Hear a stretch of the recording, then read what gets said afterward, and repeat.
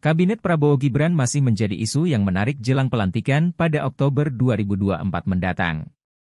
Beberapa nama pun digadang mengisi pos kementerian, tak terkecuali orang dekat Joko Widodo, Jokowi.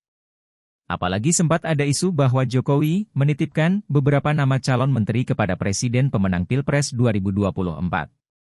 Tidak berlebihan jika menyebut Erick Thohir sebagai orang dekat Jokowi. Pasalnya, Pria yang kini menjadi Menteri BUMN itu pernah didapuk menjadi panitia pernikahan Kaisang Pangarep dan Rina Gudono.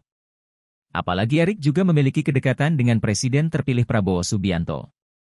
Ketua Umum PSSI itu pun sempat menyatakan secara resmi mendukung Prabowo di Pilpres 2024.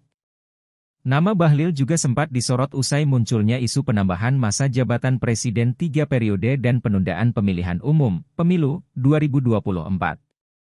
Meski tak masuk dalam TKN Prabowo Gibran, Bahlil kerap hadir di rumah pemenangan paslon nomor urut 2 tersebut.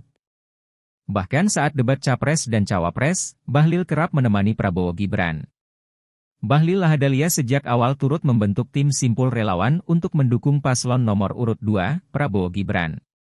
Sosok orang dekat Jokowi yang berpotensi menjadi Menteri Kabinet Prabowo Gibran lainnya bisa saja Marwarar Sirait. Loyalitas pria yang akrab disapa Ara terhadap Jokowi pun tidak diragukan. Ara rela meninggalkan PDIP demi mengikuti langkah politik Jokowi. Hengkang dari PDIP, Ara pun leluasa mengampanyekan Prabowo Gibran pada masa kampanye Pilpres 2024. Download Tribun X sekarang, menghadirkan lokal menjadi Indonesia.